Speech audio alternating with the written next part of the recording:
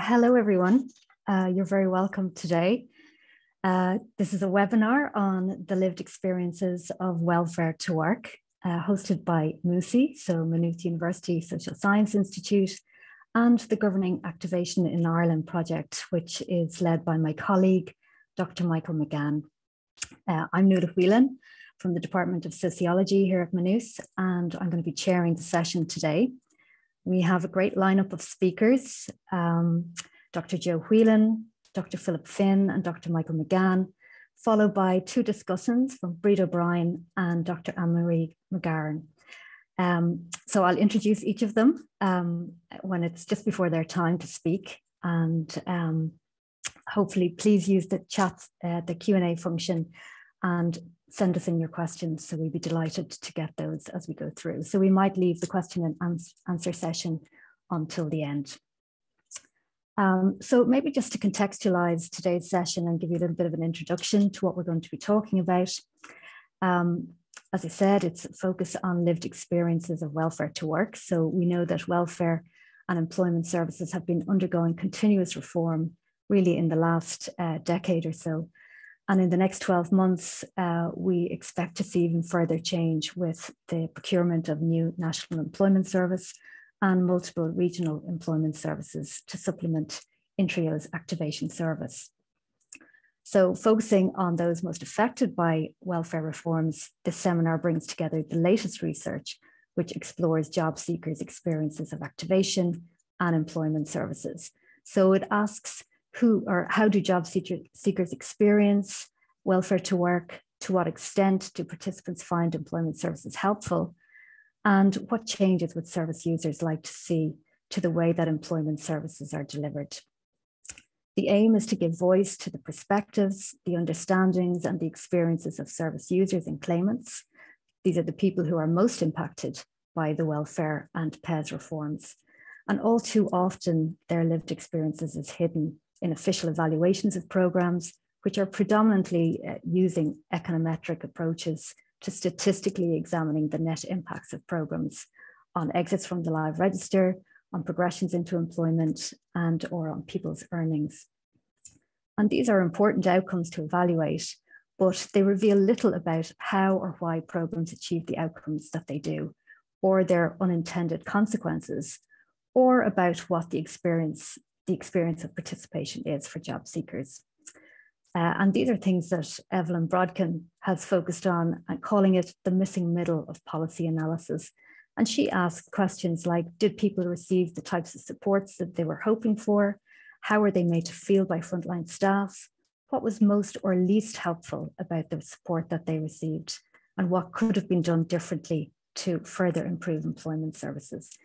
So these are no less significant questions to understand than the net impacts of programs on transitions to employment or exits from the live register. So we hope to open up a discussion on uh, these kind of important points um, during this session today. So as I said, please do send us in your questions throughout. Um, each of the three speakers will speak for 15 minutes and they'll be followed then by eight minutes each per discussant. Um, and hopefully we will have time at the end. So I'll try and do my job of uh, managing the time today uh, as well as possible to allow for questions and answers. So without further ado, we might hand over to our first speaker, uh, Dr. Joe Whelan, an associate professor in the School of Social Work and Social Policy at Trinity College in Dublin. Joe's main area of interest uh, focuses on exploring the nexus of work and welfare He's particularly interested in exploring and understanding lived experiences in the context of welfare recipiency, focusing on the processes and effects of welfare conditionality. And Joe has an upcoming monograph, uh, Hidden Voices, Lived Experiences in the Irish Welfare Space, which will be published by Policy Press in May 2022. So you're very welcome, Joe, and I'll hand over to you. Thanks, Nuala. Um, good morning or good afternoon, should I say, everyone. Um, so I'm going to try and share my screen. So you perfect. can see just the screen there, is that right? Yeah, perfect. Right. Um, so before I start, I just want to say a big thank you uh, for, for asking me to take part in this session. And thanks to Michael in particular, um, and I just want to acknowledge the hard work that the organisers do when it comes to webinars like this as well. Uh, it's the on-scene work, it's the creating the links, bringing everybody together, packaging everything.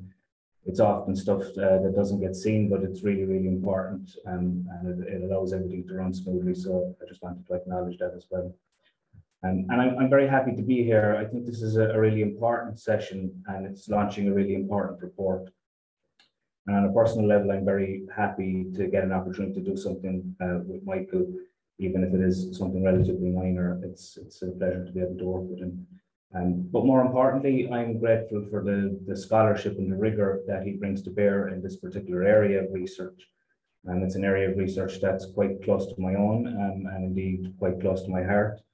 Um, and that's because this report, which I've had the pleasure of reading an early draft of, uh, deals with lived experience, uh, as Nuala said in her introduction. Um, it deals with a type of evidence that goes beyond the econometric uh, to actually begin to understand uh, people's experiences um, and, and how they're affected by policy on the front line. Um, and I think that's very important. Uh, and because I think that's very important, that's what I'm going to focus on uh, for the most part today. Um, so I'm going to talk about lived experience as a form of knowledge. I'm going to talk a little bit about um, qualitative research with big Q qualitative values. Um, and what I'm hoping is that in doing that, uh, I tee up the other uh, presenters um, who follow me. So hopefully it will all make sense as I go through. So um, I think I've already been very well introduced. Uh, if you want to get in touch with me, you can do so by email. Um, I'm also on Twitter uh, and you can check out uh, what I do there as well. So as I said, I want to talk about big Q qualitative research and the idea of lived experience as a form of knowledge.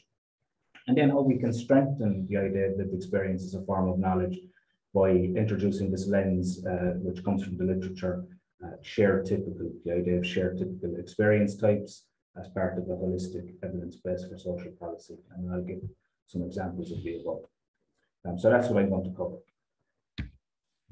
Um, so as Nuala said, uh, I have a monograph which is uh, going to be published in May uh, 2022. Um, and I'm drawing on that, uh, particularly from the first chapter of that today uh, in, in, my presentation. Um, so, you know, there, there are question marks around the experience um, and qualitative research in the general sense and the validity of it as a form of evidence. Um, and I felt in writing the book that I had to make the case uh, for lived experience. And so I had to very much um, say why I felt it was a valuable type of research and a valuable type of social scientific knowledge. Um, and I think even the fact that I felt the need to do that um, tells its own story. Um, because I did get caught up in the numbers game in the research that I was doing. I, I worried had I spoken to enough people. Um, and you know those are concerns that really are linked to a different type of research, a research that's concerned with numbers. Um, but nevertheless, I fell into that trap of worrying about numbers. And in actual fact, what we try to do as qualitative researchers is move beyond numbers to offer a depth uh, and breadth of understanding. Um, so I think there's a kind of a broad sense that certain types of evidence and knowledges are more accepted than others. And I want to kind of maybe illustrate that by um, offering uh, a bit of an anecdote. Um, so it's important to say that um, in offering this anecdote, it's not my intention to uh, personalize this or, or, to demonize anybody. Rather, this is just for illustrative purposes in respect to how certain types of evidence are viewed at very high levels. And um, so in a Twitter exchange with uh, the then Minister for Employment Affairs and Social Protection, Regina Doherty, um, I put it to her that it was disappointing to hear her dismiss valuable research for having what she suggested was a small sample size. So, and she was on a radio program called The Business, which was on Saturday morning on RTÉ Radio 1. The topic for discussion was long-term unemployment and JobPath came up. Um, and it was at this point that uh, research conducted by academics based in the Waterford Institute of Technology, which is based on the lived experience of people, uh, was cited. But it was dismissed by the minister um, as not having had a big enough sample size. So um, I uh, took to Twitter uh, as I was wont to do at the time. and I also had a beard at the time. Um, I'm not as inclined to use Twitter as a vehicle for, for these kinds of discussions anymore, but at the time I was, I suppose, trying to, to be more proactive as a researcher in terms of dissemination of ideas. Um, and I put it to the minister that it was disappointing to hear her um, dismiss valuable qualitative research. Um, and I suggested that it showed the bias that exists in government circles who would rather quote figures than draw on the experiences of those who their policies affect. So I probably could have put it a little better, but I think that was the general point I was trying to make. And the minister responded, um, suggesting that they never dismiss anybody's experience, but making the point that 121 interviews uh, out of 193,000 unemployed people isn't qualitative research, um, which demonstrates a clear misunderstanding um, so, you know, I think uh, it's important to say that the, the, minister was very gracious in replying to my tweet, um, and I think uh, suggesting that it was not her intention to dismiss. Um, she nevertheless stuck to her guns regarding the sample size. Um, so this is just to illustrate what I feel is a bigger point. Um, I put it to the minister that she misunderstood not only the nature of research of this type, but also the value of it. And, and having read an early draft of Michael's report and, and being very familiar with Philip's report, um, you know, the value of it is very obvious in the reading of it. Um, and it's a value that's not based on numbers. Um, so I want to talk now about qualitative research with big Q uh, values. Um, and so this for me is about championing, championing the doing of qualitative research as a means of arriving at real, distinctive and meaningful social scientific knowledge while also within that championing uh, lived experience as a form of knowledge. So to make the case, rather than justifying it as an approach, uh, which is something I have often felt the need to do by comparing it to more quantitative approaches, um, I want to deal briefly with what I feel are the strengths of qualitative research as well as some of the misconceptions. So I really, really like this meme. Um, I stole it from Twitter. Uh, I'm not sure who the original creator of it was, but I think it, it kind of really um, captures the, I suppose, stereotypical notions of the differences between quantitative and qualitative research. Uh, quantitative research presents as quite uh, straight-laced, maybe somewhat austere, whereas qualitative research is um, much more complex uh, and particularly or potentially very messy. And so, you know, they do different things and they are different things. And for that reason, they produce different types of knowledge. So qualitative research is not just about data and techniques. Uh, it's about the application of qualitative techniques and values within a qualitative paradigm.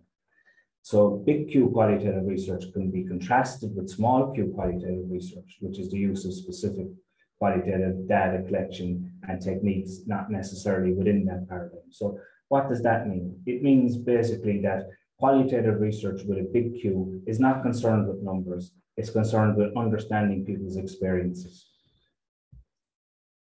So there are arguments which suggest that big Q qualitative research uh, based on lived experience maybe lacks a generalizability factor. Maybe this makes it somewhat less valuable. But I think this is something that this critique somewhat misses the point. And big Q qualitative research aims for depth over and above probability and breadth in the sense of um, um, in the sense of the, the kind of complexity of experiences. Um, and actually, you know, there are some uh, arguments in the literature which suggest that uh, small sample sizes are very useful in exploratory qualitative research because they, they allow for um, a very um, a very refined focus. And of course, this is then grounded in, in, in um, cognate literature and other existing research. Just on generalizability in particular, Smith has noted that qualitative research does lack generalizability. There's, there's no getting away from that, but only when we understand generalizability in a very narrow way, only when we understand it in terms of statistical probabilistic generalizability. So this is true, but we're not interested in statistical probabilistic generalizability when we do qualitative work. Um, we're interested again in complexity. Uh, so empirical materials and qualitative research aim to illustrate depth and breadth, and breadth here meant in the sense of the complexity of phenomena. Um, it's messy by nature, which means as researchers we have to impose structure upon it, um, separating out uh, things that are actually quite intimately intertwined. So having kind of made the case for big Q qualitative research now and, and hopefully kind of demonstrated how it's different to, to small Q or quantitative approaches, I next want to just talk briefly about lived experience. Um, so there are difficulties with the term lived experience. It's a term that's in common usage, and sometimes when something becomes used very commonly, it begins to lose meaning. Um, and it has been picked up by researchers working in this space. So McIntosh and Wright, for example, have found that the idea of lived experience is both intuitive and useful, but have also been, you know, increasingly concerned by its potential to seem vacuous or contradictory. And they ask the question, what is any experiences if it's not lived? Ultimately, you know, through documenting the complexity of lived experience as a term of particular meanings and particular contexts, they argue that it, presenting it as a form of knowledge can offer a sharp critical edge and, can therefore be associated with an empathetic immersion uh, into the lives and concerns of people affected by and involved in policy. Um, and I think, you know, having have, having read an early draft of, of, Michael's work and having read this kind of research and been involved in this kind of research uh, over a number of years, um, the value of uh, lived experience as a form of knowledge with a sharp critical edge is very apparent. Um, and it has the potential then to, to affect uh, processes and outcomes. Um, you know, so people like policymakers, um, context creators, managers, but also frontline workers, um, and also importantly, uh, those who are affected by policy who are often disempowered and oppressed groups. So this then captures the efficacy of lived experience as a type of knowledge in terms of its form and effect, empathetic immersion, its potential, its a potential to affect policymakers, and those whose stories it has the power to transmit, so disempowered and, and oppressed groups, in this case, uh, welfare recipients. Um, so when you approach it in this way, lived experiences of a form of knowledge can be very powerful, particularly when it's translate, transmitted into the vocabulary of those who have actually experienced what they're talking about. Um, so I think that uh, Richard Rorty talks about coming to new forms of sympathy and understanding uh, when we come to know something of the life history of persons. And I would argue that sympathy and understanding as the building blocks for how we do social policy would seem like a very adequate way to start. So the last thing I want to talk about then is the idea of shared typical. So having made the case for uh, qualitative research, big Q qualitative research as producing valuable uh, forms of knowledge, having made the case for lived experience as being itself a valuable form of knowledge, I now want to talk briefly about how we might strengthen that type of evidence through what uh, I'm referring to as shared typical experience types. And so there are loads and loads of examples of research which draws on the lived experiences of people in the context of welfare. And there's lots of them, particularly uh, emerging in the last uh, 10 years or so. Um, in many of these examples, similar themes, narratives, and descriptions of experiences emerge. So, for example, if we just took my work, Michael's work, and Philip's work as an example, uh, you would find in reading all three uh, that there are many uh, similar uh, narratives and themes and descriptions of experiences. Um, and these constitute what may be called uh, shared typical aspects of lived experience, which are very much less about jurisdictional and procedural differences and much more about the everyday lived realities of person, persons despite uh, differences in jurisdiction and procedure. So I think this term is really useful, the idea of a constellation of motives. Um, and implying the concept of shared typical, I'm following other uh, researchers who've worked in this space using big Q qualitative approaches, uh, people like McIntosh and Wright, Wright and Patrick and so on. And they draw on C. Wright Mills and this idea of a constellation of motives as a way to pick out sources of motive or action, which may not be wholly individual or structural. So uh, McIntosh and Wright have argued that social policy as a discipline can and should use lived experience as a window into the shared typical, and I very much uh, agree with that assertion. So Wright Patrick have taken the concept very, very far, and I think they've firmly established it as a very useful lens. And this has been built on by others like Trainer, Patrick, and, and Moynihan.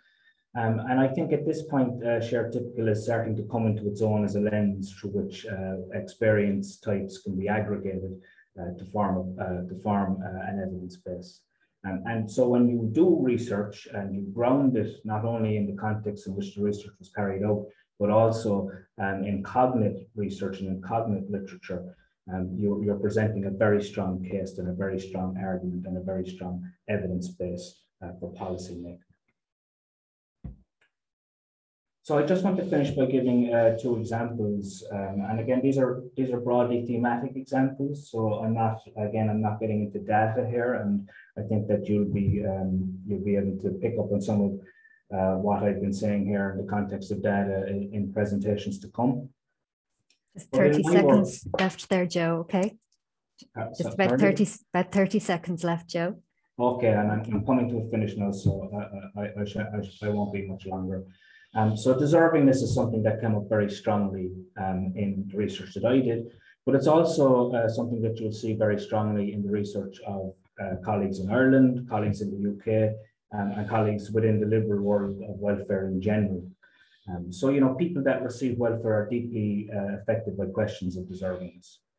Um, and this is something that I would claim is a shared typical experience type because you see it and it's very apparent in other research. And the same thing with how people are affected by welfare conditionality. So I've given a, a you know, I've, I've named a number of sources here and, you know, I'm probably in danger of leaving out many. But if you read this work, you will find that the, the, the, the way in which people are affected by welfare conditionality is something that comes through in all of this work. And again, this gives us the sense that this is a, a shared typical experience type, and this strengthens it as an evidence base for making policy. And so those are just two examples of what I mean by shared typical. Um, so this is where I wrap things up. Uh, why is this important as evidence? Um, well, we might want to ask ourselves, what, what should the basis for social policy be? And I would argue, and, I, and I've said it earlier, that sympathy, empathy, and understanding as the building blocks of social policy seem like a good place to start. So, you know, why do punitive? Why do restrictive? Why do invasive? Why not do uh, social policy based on sympathy, empathy, and understanding. Um, but to get there, we need to nuance what we mean by generalizability.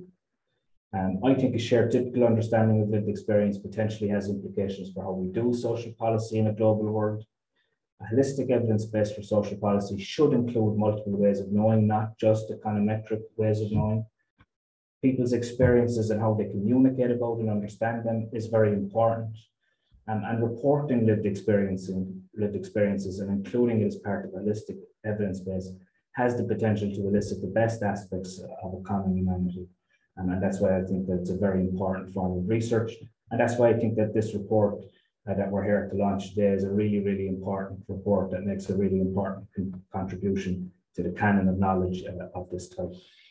Um, so that's where I leave it. Sorry for going over a little there. Um, and uh, I'll hand over to the next speaker.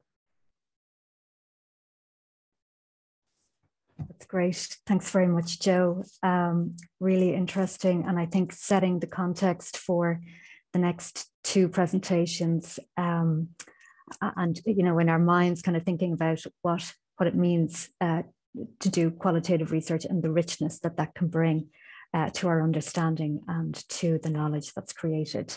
So I'll hand over now to uh, Dr. Philip Finn. So just to introduce Philip, uh, Philip is an assistant lecturer here at the Department of Sociology at Maynooth. Uh, his research explores the lived experience and agency of welfare claimants, and particularly the complex multi-layered navigation of welfare conditionality. He's a qualitative researcher with a particular interest in creative methodologies. His current research interest is in using feminist social reproduction theory to explore life making of working class communities, including diverse intersecting forms of work and non work activities in everyday life. So I'll hand over to Philip. Hey, um, thanks very much, Nuala, for uh, making me sound great. And I'm going to do my best to this point now. Um, so I'm just trying to share my screen.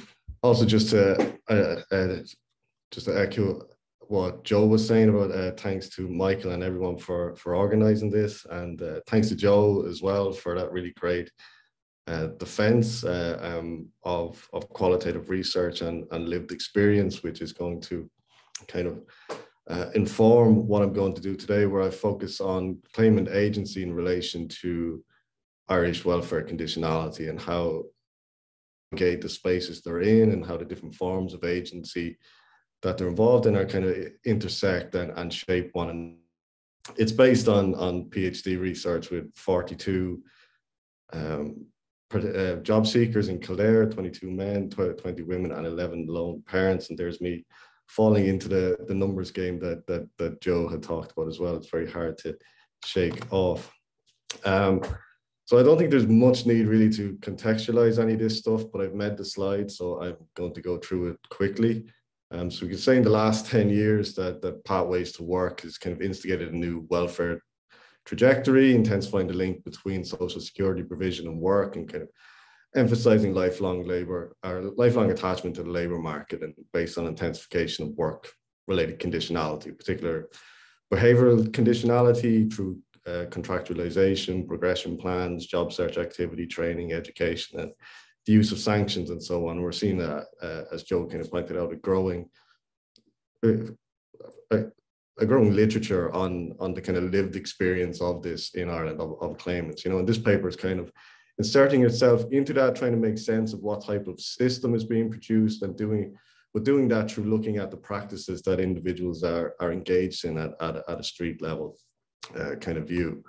So this is a, a, very messy slide that I haven't really bothered to, to, clean up. So apologies for that, but it's just kind of outlines some of the techniques of, of welfare conditionality that's that's occurring in, in the Irish system. You know, it's focused on on conduct or behavioural conditionality. You know, we could also include other types of conditionality like Clasen and Clegg do in terms of category and, and circumstances. Um, but I'm focused on behavioural conditionality because I think it's attempting to elicit a particular type of behavior, that idea of kind of a good job seeker, you know, that uh, Tom Boland and Ray Griffin talk about and kind of, you know, emphasizing job search activity, you know, active participation in the labor market through education and training and, and, and human capital development, well-being, kind of enthusiastic and motivated through all of this and kind of underlined by the idea of work as being an obligation of, of citizenship uh, uh, throughout that. And um, actually some of the forms that you can see on the side there that are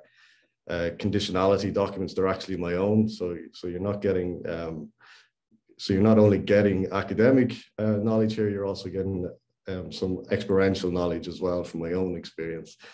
But all of this is kind of situated in and kind of reinforced by, by historical reverberations of, of the work ethic and the, its contemporary deployment alongside moralizing discourses about welfare by political actors uh, across politics and, and the media and wider society as well.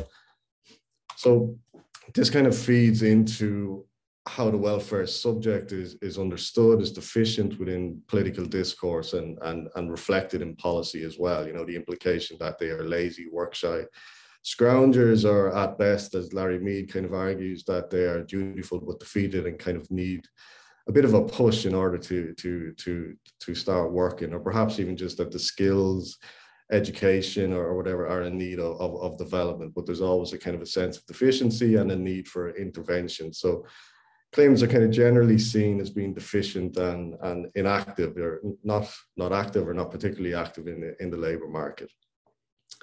And in trying to kind of articulate the, the active welfare subject, I'm drawn on the work of, of Sharon Wright and Ruth Lister in particular, who provides this typology for understanding the different forms of, of agency and the different ways that people uh, that are on welfare are, are active. So you've got four quadrants there across uh, the axes, you know, in the top left-hand corner in the kind of everyday personal quadrant is getting getting by, which is kind of the immediate everyday tactics of surviving on, on welfare kind of day to day and week to week. And then below that is kind of a, a more longer term strategic kind of getting out of welfare. So how do people kind of try to get off welfare through education or employment or, uh, or whatever else. And then the top right is kind of pushing into a, a kind of more public political sphere, um, or back into the everyday.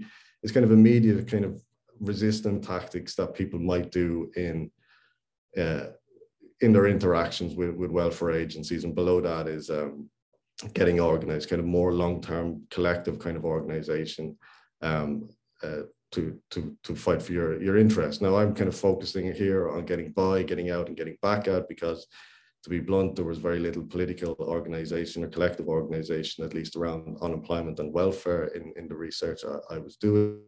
Um, so these are just kind of ways to kind of understand the different activities that, that people are, are involved in, you know. And although there are very kind of real economic, cultural, um, policy constraints on claimants' lives, which narrow their possibilities, they are still very active in navigating these spaces and beyond in, term, in terms of trying to meet their own interests and, and needs. And there's a whole range of activities that people are involved in, in reproducing their lives and including how they interact with welfare agencies and, and caseworkers.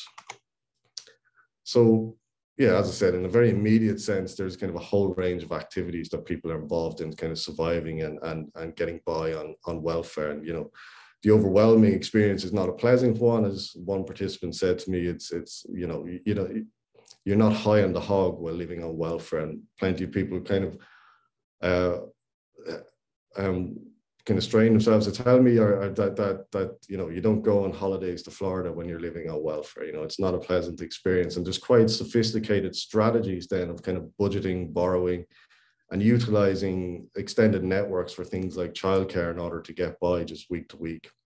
You know, and there was one woman I spoke to, Sarah.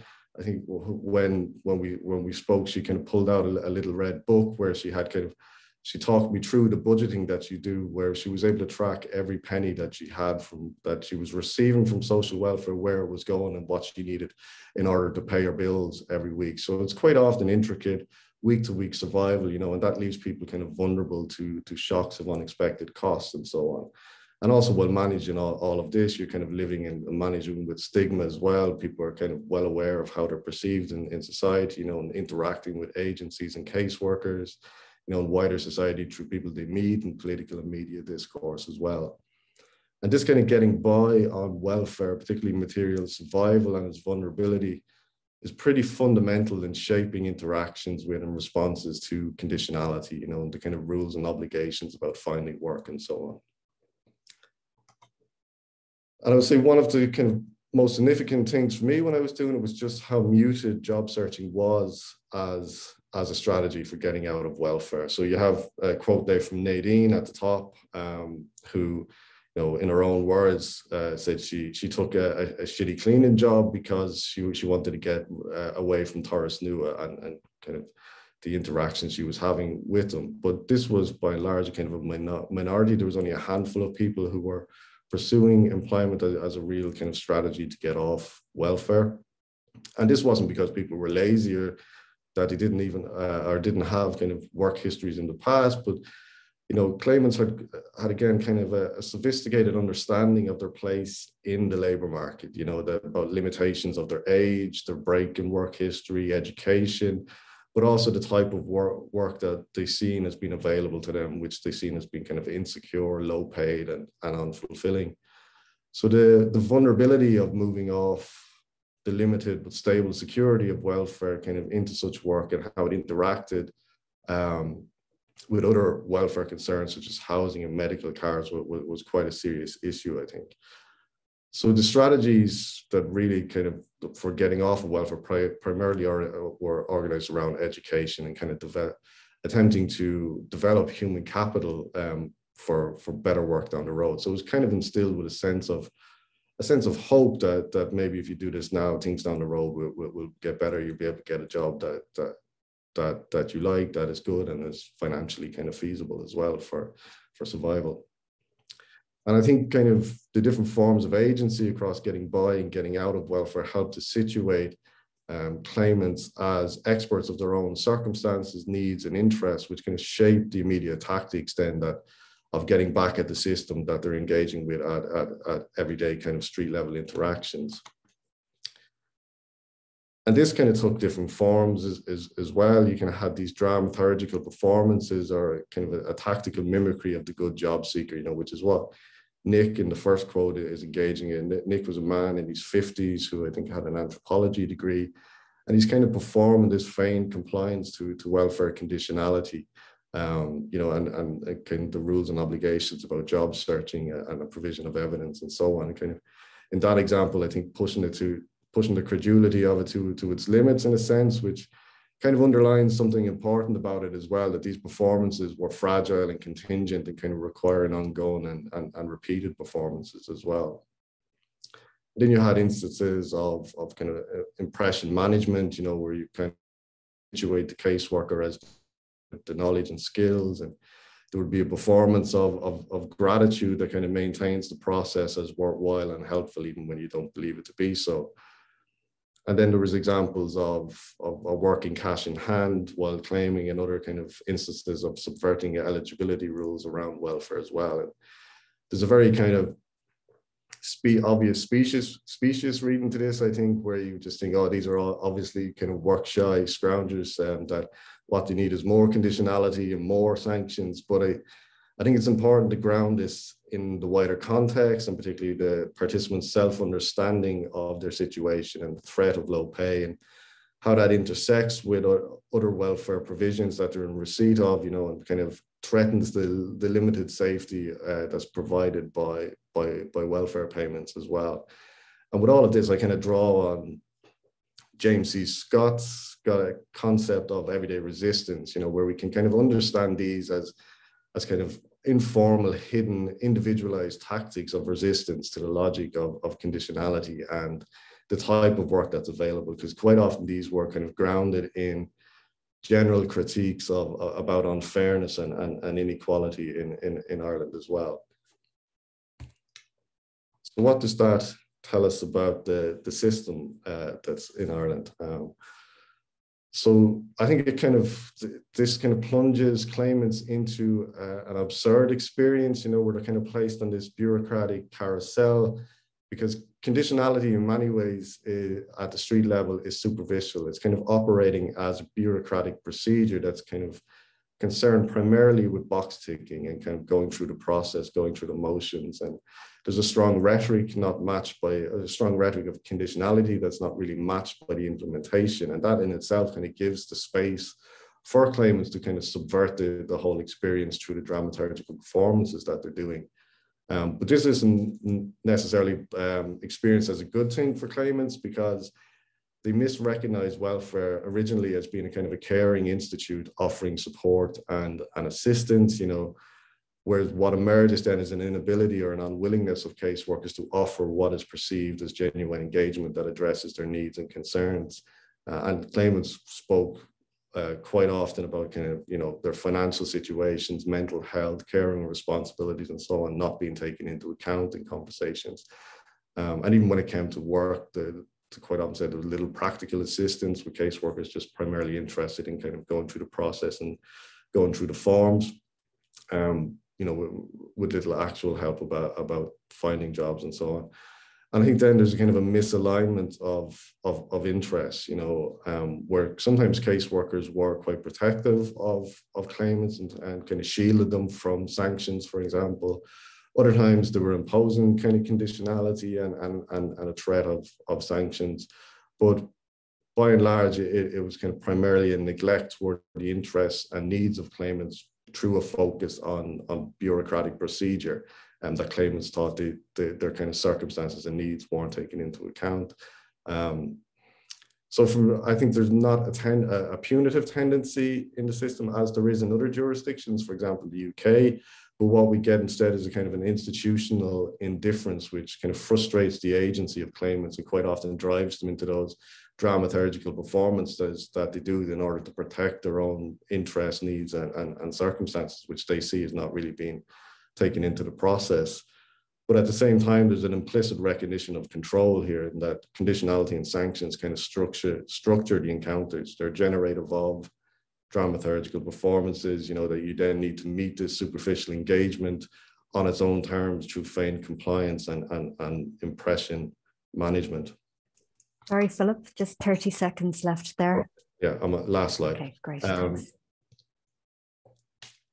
so I think this kind of indicates the limitations of supply side and I would be pretty pessimistic or critical of any kind of sense of reforming labor activation because I think the notion that people are deficient is built into it. And whether that's situating people as, as kind of lazy scroungers in need of the stick to get to work or underskilled, uneducated human capital that kind of need to, to be developed, is kind of the labor market and capitalist work that, that designates people as, as deficient. You're de- deficient in the eyes of, of, of, of capitalism, I suppose.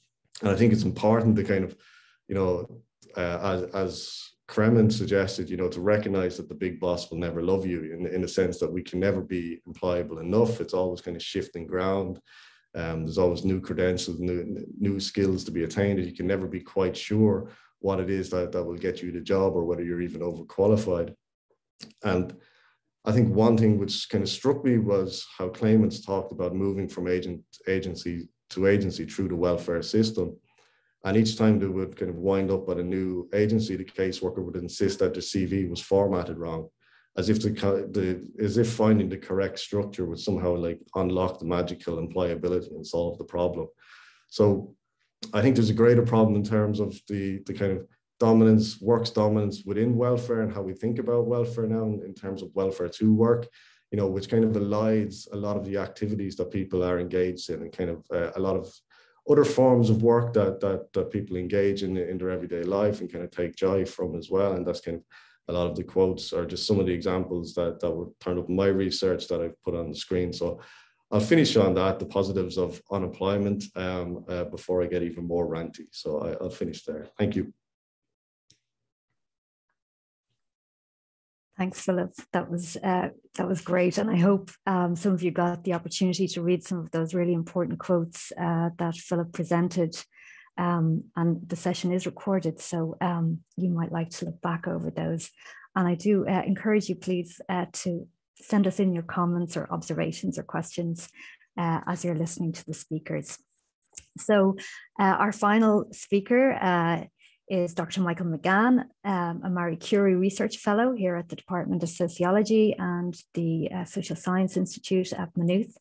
Uh, he has been a great colleague for the last two years. Um, so Michael is presenting his research. Um, his main interests are really in street level bureaucracy and welfare governance, but he's got a particular focus on issues related to welfare to work and marketisation of public employment services.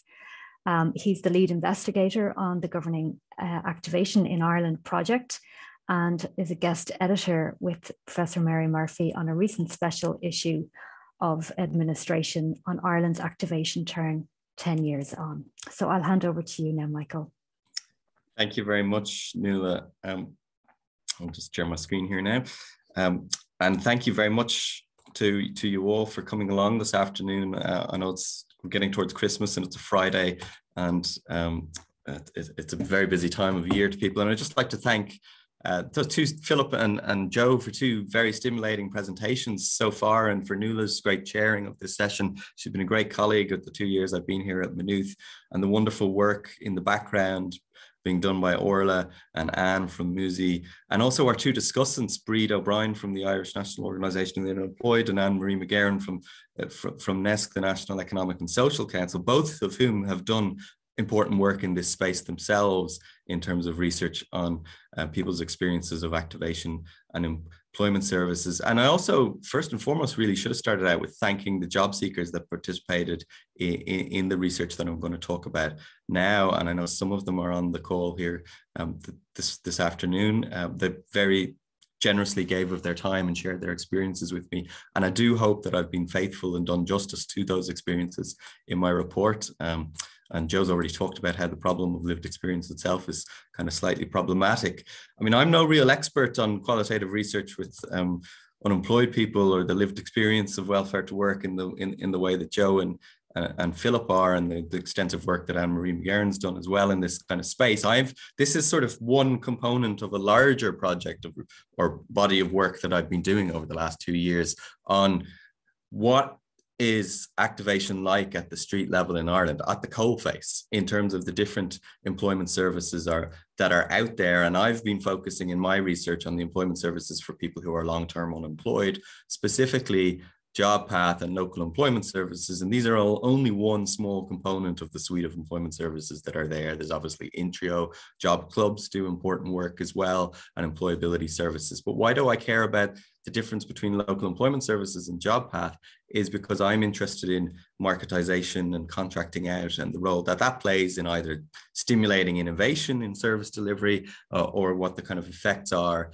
in the way that employment services are delivered. So this work that I'm presenting here builds on earlier wave of research that, that some of you may have come and, and heard me talk about in May, which was surveying the frontline staff in local employment services and JobPath and also doing interviews with those staff as, as, as well. So it's I'm trying to triangulate different pieces of research to kind of fit uh, uh, uh, together an overall sort of more comprehensive picture of what's going on. And all of that research is available on the project website, which is activationinireland.wordpress.com so this report that I'm going to talk about today, as well as the previous report on understanding frontline employment services, which was the um, frontline staff's perspective. So what I'm talking about today is based on interviews that I did between April and August, late April to early August, with 35 former or current clients of either local employment services or JobPath. Um, and that's just, you can see the kind of characteristics of the people that took part in the study. Uh, I wanted a mix of current and former clients because I wanted to get a picture of what frontline delivery was like pre-pandemic when um, the mutual obligations uh, and sanctioning environment was in place and whether there were kind of differences in the kind of pre-COVID and post-COVID experiences of, of activation, which I talk a little bit about in the report, but, but, but, but I won't really get a chance to touch on today. Uh, and of the 35 people I interviewed, 31 had experiences of JobPath and both JobPath providers and 10 had experiences of local employment services organizations uh, and a number of those 10 people had also been participants at, at, in JobPath at some point as well but what i want to what i want to highlight here is the number of people who had multiple experiences of JobPath and this is i think a really important thing that comes out from the research is the extent to which we've got a system that kind of cycled people not only through multiple rounds of JobPath but from JobPath to local employment services, back to Intreo, back to JobPath again. And there's a kind of feeling of kind of being spun round and round continuously from short-term intervention to short-term intervention. So we can see here uh, of the 31 people that had participated in JobPath, 15 of them had been through two rounds of JobPath. Uh, and a significant number of them had been through either three or four rounds of JobPath. So eight of the people that I would have interviewed, that was the case for. Um, so this is the quote kind of illustrating that. So that's when that's then that finished the first round of JobPath, and then there's this six month cooling off period before you go to be contacted again, and then back to the same office in the same provider. And the only thing that really changes is the person's case manager or the person's advisor. And I think that's an important thing that we need to highlight is uh, just how much duplication and repetition there is in the current system of welfare to work uh, that we have now. And the other thing that came out very strongly in the interviews, and it's been really highlighted as well in the INO, in the INOU's research on their project on um, their employment services research project, where they had focus groups of people who'd been through Intreo, who'd been through local employment services, who'd been through JobPath, was the communication uh, of the communications towards job seekers and what those communications conveyed convey about the nature of their participation. So Philip's mentioned, and, Joe have both talked about conditionality uh, and the kind of behavioral obligations there are to participate in employment services. What we don't really see in, in, Ireland so much is any act, it, it, is it is a big stick approach to conditionality where people actually are frequently sanctioned in the way that they would be in the UK uh, or, or in the Australian system that I have a lot of experience of. But we see the threat of this happening to people as being ever present. And this, I would argue, uh, and certainly talk about in the report, really, really colors people's experiences of, of the whole system of welfare to work or the whole employment, their whole experience of public employment services. So while very few of the people that I interviewed actually had been sanctioned or penalty rated themselves at any point, they frequently comment is again and again how there's this sentence in black letters on every letter about if you don't engage, if you don't participate, your payments will be affected. And Porrick here goes on to talk about the impression that the, this leaves with him in terms of how it affects his self-esteem. It gives you the impression that you're naturally inclined to be lazy and stupid. And he doesn't really feel that he's lazy inclined, but if somebody kept telling that, it might have an effect on his self-esteem. You're lazy, you're stupid. If we don't kick, keep kicking you, you won't even get out of bed in the morning. That's the impression you get. So what's the kind of psychological uh, damage that bolding this particular component of the letter about engaging in JobPath or local employment services uh, has on, on people's sense of self-esteem. And I mentioned that Ireland isn't a particularly sanctions oriented system, but the number of people who have been penalty rated has grown consistently year on year up until 2018 when it sort of tailed off, uh, hitting a peak of uh, just just under just over 13,000. but at the same time, the proportion of people on the live register has also almost halved over this period. So in proportional, the number of people on the live register, I should say. So in proportional terms, the rate of, of job seekers who are being sanctioned is growing considerably year on year, although now we're beginning to see a reverse. But this compulse, the compulsiveness of activation gives rise to a form of participation that's really just about compliance rather than engagement, I, I think. And then what we get from this kind of activation orientated approach is people participating out of the sake for the sake of not wanting their payments to be affected, but not, and this kind of gives rise to this kind of mental kind of disconnection from the system and this kind of indifference about the, the system because of the way in which participation is being communicated and conveyed to them and the conditions in which they've been in, required to engage in employment services. And the point of participation becomes to play along or to go through the motions. And Philip talked about a tick in the box exercise. And that came through a lot in the interviews that I, I, I did with people. Obviously, I'd sit through the training uh, that they thought I needed. I knew I didn't need it, but you know, tick a box because, as I say, most of the people uh, uh there were, who were in the workshops were in the same frame of mind. Just get it done. Um, because as I say, uh, just get it done. If there's any workshops, you kind of do what you have to do. To, so you're seen to be looking and applying for work and you obey by the rules and you comply with the rules. You don't like it, but why make you more, your life more complicated? I would just go in there once a month and do whatever had to be done. You see this coming through again and again, because if you if you don't, you you do you don't do it, you lose your payment. So are people participating because they think that the employment services that they're receiving are quality employment services that are going to actually be of benefit and substantial uh, gain for them in terms of progressing them towards employment, or are they just participating out of the sense of compulsion and it's a merely a compliance, an exercise in administrative compliance, rather than an exercise in employability um, uh, uh, uh, uh as such. Uh, and then I, one thing that I was particularly interested in is how people experienced experienced the differences between uh, the advisors that they dealt with in the in the respective employment services because that was an issue that came through very strongly in the first wave of research that I did was that there were quite significant differences between the people that work as mediators in the local employment services or between the people who work as mediators uh, or as advisors I should say in JobPath. And I want to emphasize that overwhelmingly interviewees were very positive about their um, case managers or their mediators or advisors as people in terms of you know they were very nice to them. They treated them generally with quite with dignity and respect. They were friendly. They were warm towards them. Uh, so they had very positive things to say about case managers what i would say demeanor their kind of interactive style with job seekers. But then when it came to their level of experience or their level of skills or qualifications or competencies to actually give them advice about returning to the labor market, that was a different kettle of fish and a different story altogether. And they commented, and more so, this has to be said in the case of the JobPath staff rather than the local employment services staff. And the, you know they pointed out that a lot of the advisors that they were dealing with were people who had just come off the dole themselves, or they were people who were former salespeople.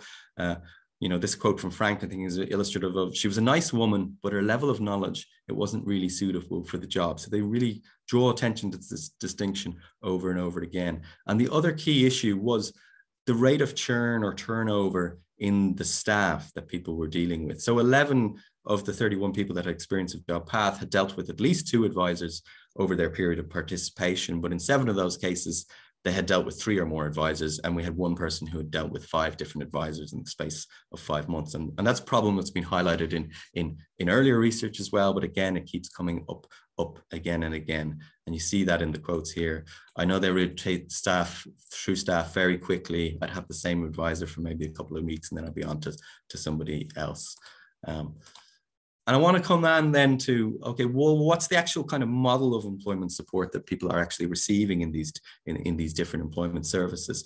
Uh, and what sort of emerges in the findings uh, on JobPath is there's a kind of fourfold component of employability support that's based on first and foremost an emphasis on job search monitoring, not necessarily giving people set targets or numbers of specific jobs that they have applied for week on week or every two weeks, but at least, and in some cases there are, but a key point of each meeting is to review the jobs that people are, are, are, applying for every week. And that's sort of the key focus of the engagement is just really around monitoring job searching.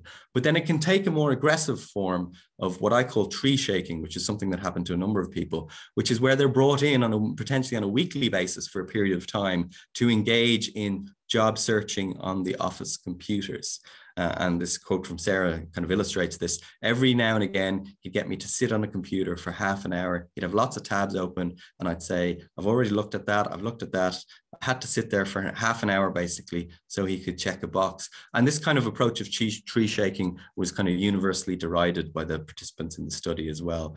Uh, combined then occasionally with internal workshops. These were really polishing activities about giving people uh, training in groups on how you might write a CV or how you might write a cover letter. And this would be kind of a standard pro forma approach to the nature of employment support that people receive. And then more occasional cases, they would be given some sort of very uh, immediate job entry focused training around gaining licenses or permits that might be needed, such as forklift licenses or safe passes for the kind of opportunities that are open to people in the immediate labor market around them with the kind of otherwise the skills that are that, that they've already got rather than a kind of bigger ticket piece of upskilling or training. And that was a frequent criticism on the interviews was the lack of support for training and reskilling in a kind of more substantive way that would be leading to a kind of longer term re- uh, change of career for instance or leading to longer term progression or mobility in the labor market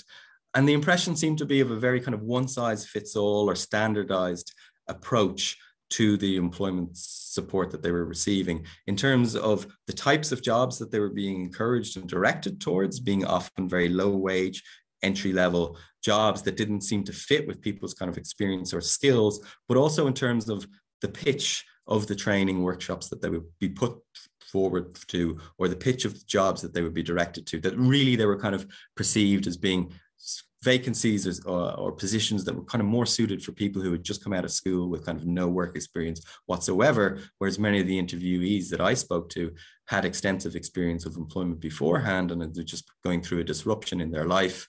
Uh, and they felt that this was also the case um, for other people too, that they, they were familiar with on the program as, uh, as well. Although there were, I have to say, a couple of instances a couple of cases where people really did praise the, the, the support that they received, uh, and particularly from certain case managers that were really celebrated as uh, pointing them towards a larger questions about rethinking the direction of their career that they wanted to go into. And this comment from Michelle is talking about that she was encouraged to retrain in community development work by her advisor at one of the JobPath agencies. But it was kind of like the exception sort of seemed to prove the rule, and that was the rare kind of experience amongst people. And then coming on to the LES, um, and I'm going to sort of finish up in a moment here. Uh, there was a perception that local employment services gave people more options to look at, particularly in terms of work experience programs like community employment or TUS uh, schemes, uh, and also potentially further or higher education. The, the, kind of transitions to education were something that would be considered more by the local employment services staff than uh, by JobPath staff. So this is a comment from Jenny, who's talking about how she worked in retail for many years, but then she was encouraged um, to uh, think about going and studying a degree in adult education. And then she's since completed that degree and has gone on to work in that field as well. Um, and this comment again that they really feel that education is as good as job seeking.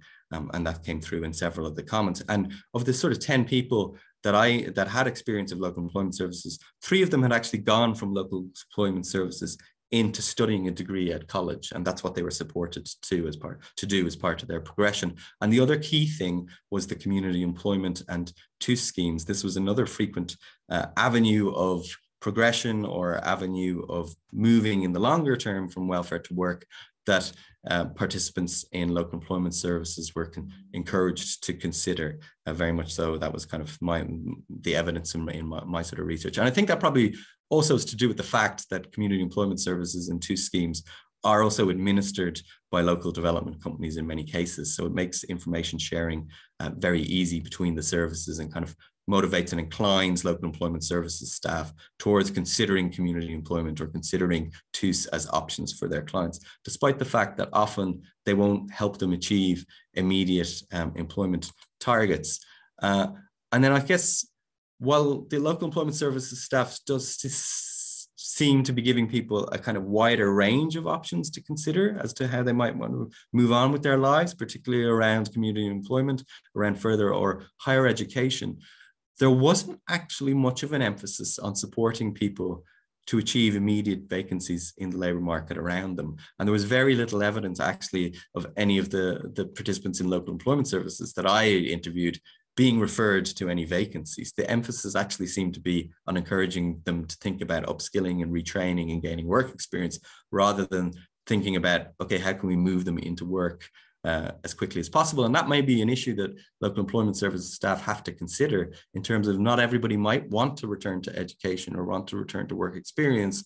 And what are what are we doing to actually uh, equip people and help them towards uh, immediate vacancies in their locality in their labour market. So just to kind of finish off. 30 seconds there, Michael. Perfect. Okay, this is the last slide. With the conclusion, I think this kind of very much reiterates what we found in the first wave of research with frontline staff, that JobPath does seem to be geared towards a more work first model of activation that's very much about job search monitoring with some kind of polishing activities and some polishing support around that. And it's quite an intensive model of activation. The local employment services is a lighter touch model of activation. It's a bit less formalized and less structured in terms of assessment tools that are used by staff in terms of how progression plans are development are developed with job seekers, but it seems to be very much anchored towards work experience and education rather than work per se, and rather than immediate labour market attachment. And that certainly came through.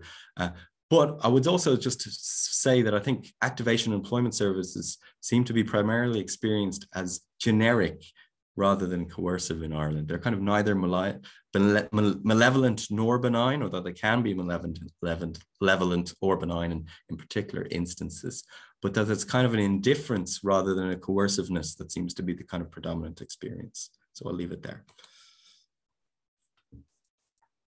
That's great, Michael. Thanks so much for all that. And I'm sure I, I could have let you go on and on. So uh, I'd highly recommend uh, you all to read Michael's report uh, if you get a chance, full of uh, really great richness uh, that comes from qualitative research. Um, so Rather than me commenting all, on all that, I'd like to introduce our first discussant. Uh, so Bríd O'Brien, um, Head of Policy and Media at the Irish National Organisation for the Unemployed. Uh, and she plays a key role in formulating and developing INOU policy on unemployment, social welfare, and the development of an inclusive and equitable labour market. Uh, Bríd works with colleagues on behalf of the INOU uh, in the community and voluntary sector on issues of socioeconomic justice and is one of the community and voluntary pillar representatives on the National Economic and Social Council, as well as being a member of the uh, Labour Market Council. So I'll hand over to you, Bríd, uh, about seven or eight minutes or so. Okay. Okay. Thank you very much, Nuala, and thanks to Joe uh, uh, and Philip uh, and Michael for their presentations. Plenty of food for thought. What I thought I would start off with is a, is a, a quote from the Economic Recovery Plan, which was published back in the summer, in which it says an increased focus will be placed on building an inclusive society and labour market, with greater emphasis on good quality employment, increasing participation, and reducing barriers as the economy recovers, ensuring the benefits of the recovery are widely shared. Now, that certainly is a sentiment that I feel, yeah, sounds good, be great, wonderful if it could be delivered on. And then listening to, you know, Michael and Philip in terms of their research and the work that they've done with people and their experiences of the service more recently, what strikes me very much is what that quote says, you know, we ought to be about, and what people's experiences of are, there's a huge gap. Um, I was again struck very much by Joe's, you know, uh, uh, um, presentation and that kind of call for the, research into lived experience being valued. I suppose research into lived experience is what we as an organization do we kind of have a particular model that we have used for many years. We used it in, in, the research that, that Michael referenced when we looked at the experience of people once the Department of Social Protection acquired the National Employment Service from FÁS and introduced, uh, re- reconfigured it, and then became int- it all became Intreo. We called it the Intreo model. Initially, we did the work uh, looking at people who've been short-term unemployed and their experience of Intreo. We then the plan was to look at their experience if they had been long-term unemployed of Intreo and then we discovered that Intreo had no intention of engaging with people who are long-term unemployed. At that stage the referrals were out to the local employment service. And regrettably they didn't leave the employment service do work as they had worked. They again uh, it kind of insisted that they used the Intreo model.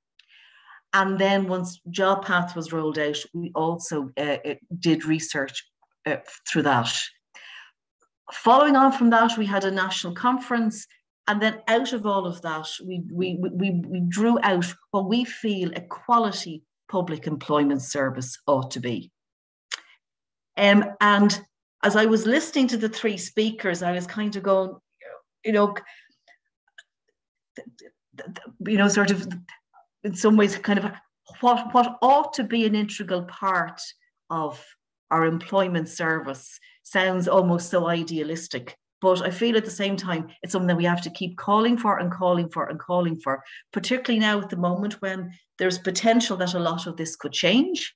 And we'll be very concerned that the change is not is going in the wrong direction and that many of the experiences that Philip and Michael have, have outlined and, and, and, and documented and captured and indeed Joe through his own work has as well, um, will be further uh, uh, um, uh, will regrettably become an even bigger part of people's experience. Uh, so we really do feel it needs to be a public employment service that's open to all. They reconfigured it around one payment, the job seekers payment. On that payment, conditionality has always applied. In the Irish context, it's been called genuinely seeking work and that's applied.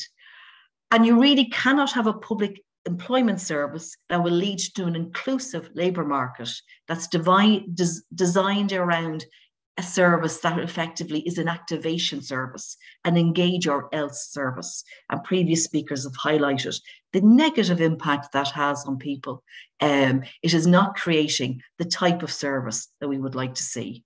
So, a service that really is open to everybody and that everybody is free to engage with and to use when they need it, be it to address their unemployment, their underemployment, if they wish to go from being part-time uh, employed to being full-time employed, if they are in low-paid jobs and want to improve the, the, the, their um, their employment options and get better employment, more sustainable employment.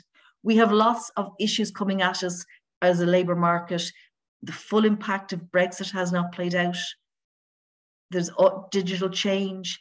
Uh, you know that there's the whole just transition and climate change Uh, issues coming at us as well. So we really do need, if we are to indeed have an inclusive labour market, if we are to come out of this crisis and other crises that are coming at us in a way that leads to a more inclusive and equitable society, then we need a public employment service that's playing an active role in that and really supporting people to access a good and decent job. So, integral to that needs to be clear communication, a positive approach, proactive supports, good relationships and networking, cooperation, um, building links with employers, provision of clear, accurate, and timely information. I mean, we, we cannot, Philip highlighted, and it's a big issue for us, our current welfare provisions are inadequate. It's very striking the difference they set PUP at and the rest of working age payments are at. Um, and so people struggle to survive they, they, they, I mean, Philip's example of the woman who has her red notebook that she keeps to manage her money, like the, the way people do manage to survive really is extraordinary. And a bump in the road could be a big event that's coming up near Christmas. It might not necessarily be something negative. It could be something that a lot of people look on as positive. But if you've diddly squat, it becomes a negative.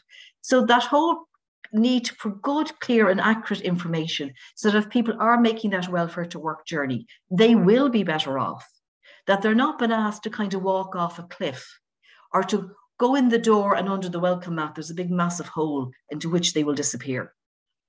So we really do need to make sure that we have services that are supportive of people, that staff skills are developed and appreciated for those that have them and valued, that the resources are put into the services so that they really do provide people with a good public employment service. And key to that, you know, our, our key values and principles need to under, uh, underpin that. Belief in the potential and capacity of the person, I really was struck by Michael's talking about, you know, people were being sent back to JobPath and sent back to JobPath and sent back to JobPath. Like the image that goes through my head is one of those revolving doors that people just kind of are in and back out again and in and back out again. And that's not good for people. It's not good for their health and well-being. You know, and it's also not a good use of resources. We, we should be putting those resources to better use so that people really feel that what is an offer, that what they're being supported to do will really make a difference to them. So that if where they feel they are at and where potential jobs are at, that people feel they will be given the supports to undertake the, undertake the necessary education training to help them get that good job. Respect and dignity needs to be an integral part of it. Informed choice is a biggie for us. People really need to feel that they are being given choices and that they can exercise that choice. The use of agency Philip used in, in, in, uh, used in his work that people really feel. I mean, there was one one case in, in Michael's report that he had that I really thought, my God, you know, oh, I see you, Nuala. Okay, grand. okay. I, I, I, I, I, I'm almost there. I promise. It was basically people been asked in one of those group sessions, what time you got up in the morning. Jeepers, you're, it's a room full of adults and you're treating them like juveniles. I mean, that's not on. You know, we need, and we've, we, we as a, a, a, other, other policies are, are around quality employment and, and, and that. So we really do need to engage with people as adults. You know, people talk about engaging with employers. Well, then if employers will use the public employment service and look to the live register and others on welfare payments as a potential, you know, as, as potential employees and welcome employees. But we need a good a, a, an employment service that really works so that people who go for the jobs are going for jobs that they want to do that they really would like to be doing, that they feel, yeah, this is the job for me, this is the job I want to do. We get that piece right, then more employers will go, oh, actually, yeah, you know, that's where we go to kind of that, and we create a win-win, and we we, we really support people, you know, to, to make to, to, to, to, to, move forward. So that whole really working in partnership with the person, co-design is a is a is a term people use now. That, that's really important working in partnership with other organisations, including education training providers, uh, be they community based or statutory uh, agencies, and then actively promoting equality and social inclusion. This is absolutely critical.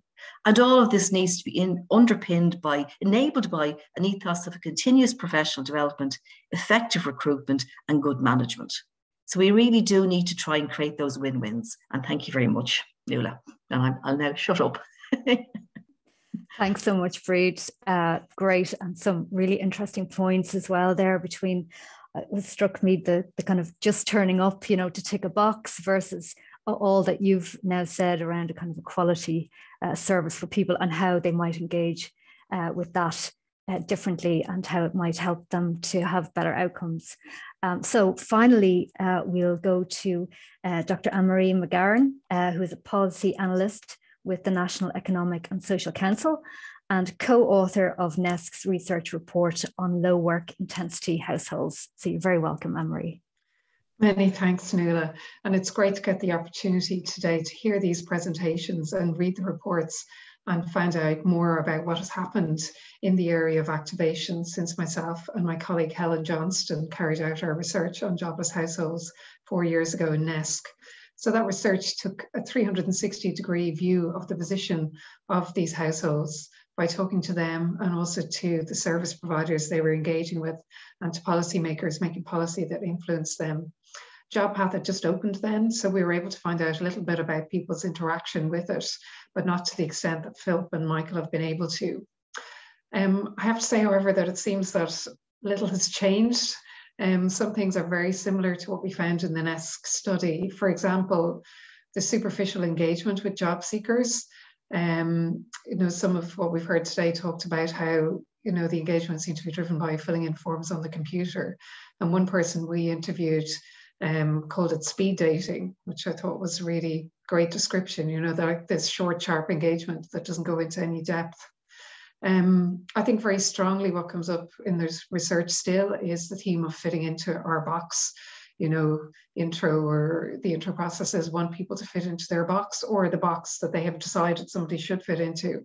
And that really comes up in terms of asking people to apply for jobs they're not interested in, or at the time we did the research, there was much more emphasis on courses.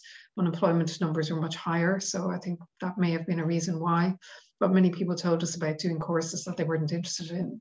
So it's really that issue around agency, just such a strong lack of agency in so many key areas. Um, which you know you can question how effective that use of public funding is. Um, also, we can see that a lot of supports aren't really tailored. Um, NESC has really talked about this a lot in the developmental welfare state study about how important it is to have universal services that can be tailored to meet people's needs. But you know, we can we heard about some examples of that, but there are many other examples where it doesn't seem to happen. Another thing that doesn't have to be doesn't seem to have changed is very little upskilling, and instead still this emphasis on mandatory entry level certification um, as training. And to be honest, I'd hesitate to call this training. I really think it's kind of like an entry level piece of paperwork. Um, and then the focus on getting into low level employment as soon as possible. Um, but you know, in the NESC study, we did find people who you know really wanted that employment. So it kind of depends on where where you are, um, and what you know what fits in with what you want. Um, there's some things then that have developed but in the same direction since we did the NESC research. So in our study, we found that people didn't know what a personal progression plan was. And now it seems that they have heard what it is about it, but they're not clear what it is. So it's still something that they don't own. It's still a piece of paper they sign to get their benefits, and it doesn't stand out as something that they engage with. And another thing that's new here is people being called to JobPath because they're in part-time work.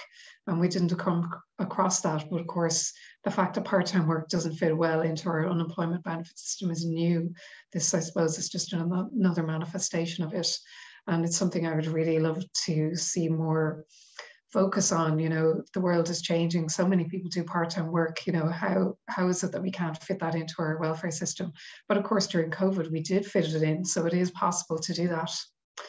Um, i think a difference is that you know your study found that JobPath wasn't really linking people to employers um, michael but when we were doing our research the one JobPath organization that we did engage with they were linking people to employers so that seems to be new um, I think there are some positive policy takeaways from what you found, though. For example, that the experience of JobPath was helpful for some people, although it was only a small number. And we can see some things that I know, Nuala, you've focused on for a long time the skilled caseworker, one to one work, and the tailored approach, which really worked for people. Um, so, how can we have more of that? I think the uh, lack of caseworkers skilled in activation um, supports is really an important issue that's come up in the work and something that we would need to combat. The importance of work experience for people, I think, is good, something to work on more of it as well. Um, like Bríd, I'm just thinking about, you know, how can people access these services? Um, I did wonder, you know, could you not have people voluntarily applying to go to JobPaths? Because some people want that kind of focus on getting into employment as fast as possible. Um, it's very important to them. And I want finally to return to Joe's such interesting outline of the importance of lived experience as an evidence base in policy making. I really agree, and I think triangulation of research methods, you know, using both quantitative and qualitative to show um, different aspects of the same issue is so important. And you might be interested in the Department of Taoiseach's work at the moment on adopting a well-being approach to public policy. And this is a program for government commitment that wants to have a more balanced focus on progress, um, less of a focus on the economy and more on society and environment. And the government published a report on their approach to this in July. And they state that the well-being approach is fundamentally about making people's lives better by better understanding people's lived experience. So it's a key part of their vision for the well-being approach. And there are multiple references to the importance of people's lived experience in the government's report. If you want to look at that more, there are links to that report on NESC's website. If you go to nesc.ie and to the work programme and then the wellbeing section, you'll find links to the government's report on this. So on that basis, there should be a much better understanding of the type of lived experience research you've done, Joe, and hopefully appetite to use it. Now, obviously, there's a gap between what's written and what's done, but I hopefully we can see here an opening up and a greater shared understanding on this issue, which is something I think is really important to move more into policy. And I hope that the experience of COVID um, has really helped to put a better real focus on implementing this. So thanks very much for the very interesting uh, few hours.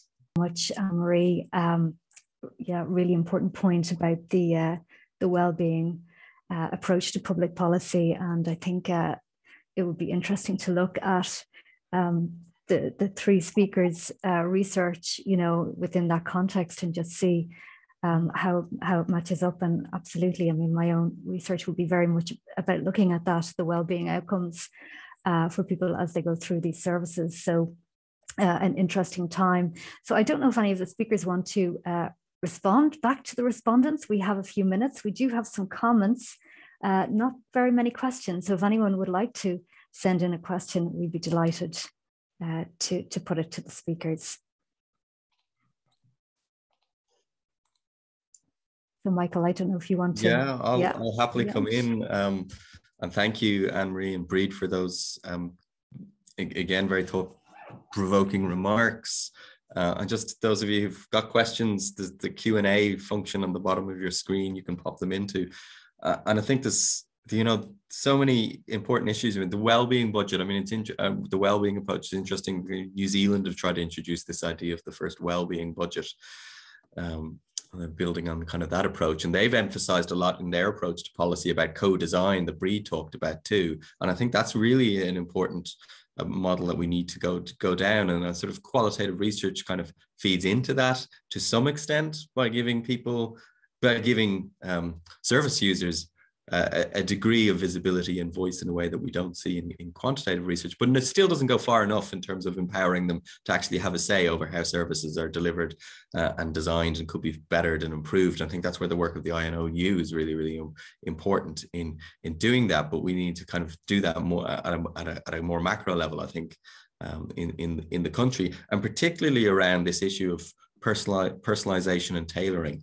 I mean, we know in the kind of the community that does research on welfare to work programs for people who are long-term unemployed that that's so and so important that we have personalized individualized employment services because people don't fit into the boxes that Intreo or whatever service might like to fit them into and unfortunately what we're seeing again and again in the research is what we seem to be getting uh, with the kind of activation model and with the kind of uh, very outcomes orientated performance based activation model is standardization and routinization of the services that are delivered. Now, unfortunately, here they're not so coercive as in, in, in other countries, but it is still this kind of are we interested in just reducing the numbers on the live register, or actually we're interested in in, in well-being and then and in career progression, like Bríd talked about, and not only oh, not only thinking about people on the live register, but thinking about people with disabilities, thinking about people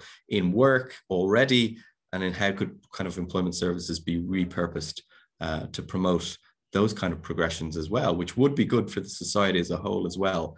Um, but we kind of have moved in this very low hanging fruit orientation, unfortunately, over the last five years or so. I would I, I would say. Um, so I don't know if I mean that analogy. The personal progression plans is another interesting one. I mean, I think people were aware of their personal progression plans, but at the same time, uh, at least among people I spoke, there was an enormous confusion about what I would sort of describe as client assessment, and you know, you know, going through an assessment process to determine people's needs, and actually formulating a personal progression plan. So often there was an equivalence among the people I spoke to between the process of being asked a battery of standardized questions about what's your health like today, what's your literacy like, and actually thinking that was the personal progression plan, which it's not, uh, which kind of did suggest, uh, again, a kind of standardized, formulaic, generic way of developing this. And again, that's about fitting people into the categories that uh, they need to, to be fitted into from the government's perspective. And you know, a lot of this is top down driven from the Department of Social Protection as well. It's not the provider's fault per se. So I don't know if anybody else wants to come in there. Yeah, Joe. Yeah, I, I might just respond to your point, Michael, around the uh, people not knowing kind of that they that they've taken part in developing a personal progression plan or um and I found in my own work that sometimes people didn't know what payment they were on. So when you asked them what payment they're on, they weren't sure. They knew it was maybe a job seekers type payment, but they weren't certain. Um, and I think when people find themselves in front of an Intreo officer, they're often not always, but often at a low ebb. Um, and you know, I think losing employment can be a traumatic experience. You know, um, and there's not that sort of holistic approach to people. It's very procedural, it's very process based. So it's not a great surprise to me that people wouldn't um, be able to recall the details of what plan they were on or you know what payment they were on when they're often just trying to keep their, their heads above water and are being subject uh, to processes that can exacerbate uh, the stress they bring uh, to, to the Intreo office in the first place. So I have picked up on that in my own work too, that sometimes people don't know the finer details of the process. They just know that they're in this sort of um, the storm of bureaucracy where they have to keep satisfying certain conditions in order to, you know, maintain their payment. And so I think that kind of speaks to the missing component of how we do welfare in Ireland, in that there isn't a social care dynamic to it. And it's a very process and, and sort of procedural based uh, approach, which can be, you know, can be very, very um, damaging and harmful uh, to people when they're they're in a, a, very vulnerable space. And I use the word vulnerable with some hesitation because I don't, I think it, it can disempower as a term, but you know, I think when people find themselves in need of assistance and employment, they often are vulnerable, at least in that aspect of, of their lives. Um, so yeah, it's just something that I picked up on as well in my own work is that people don't always know the finer details of, of the process. They're just trying to survive often, you know. And so I just thought it might be worth mentioning in the context of your own comment. Great, thanks, Joe. Uh, I think we have time for maybe one more comment, uh, and then we're we're coming up to well, we've just gone past 1.30. Um, and so, uh, if anyone has anything else that they'd like to say,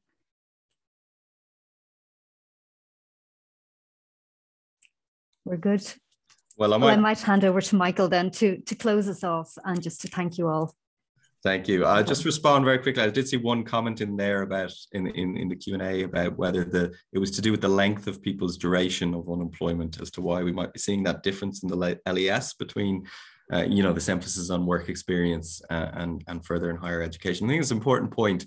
I mean, I would say, uh, and I talk a little bit about it in the report that that was drawing on some of the research with the frontline staff that that was one of the considerations that they were dealing with people who were unemployed for five, ten years in some cases, and that's what would be steering them towards um, or C, for example.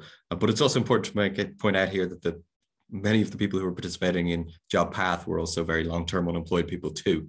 Um, uh, so that's not an exclusive experience of the, the local employment services.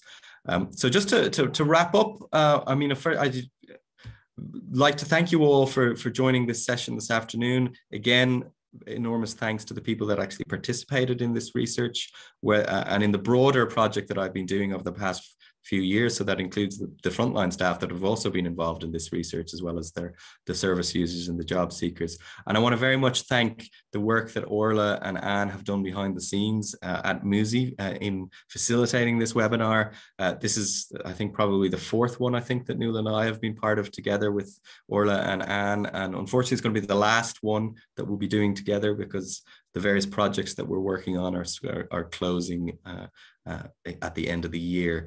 Um, and also very much to thank Bríd and Anne Marie for their comments uh, and responses today. I know it can be a tricky thing discussing uh, papers uh, in, in, this kind of seminar format, but you've done tremendous work drawing on the extensive knowledge and experience you, of course, both have of this sector. Um, so thank you enormously for your time and obviously to Joe and Philip, whose work I've learned from too. Uh, and very much enormous thanks to Nuala Whelan, who's chaired this so expertly and steered us through, I think, a really uh, fruitful uh, hour and a half or so of, of, discussion. And it's been an absolute pleasure working with Nuala over the past two years. So I'll, I'll miss sharing the office insofar as we've been able to be in the office together with, with Nuala. And uh, I know Nuala will continue to do important work in this space too.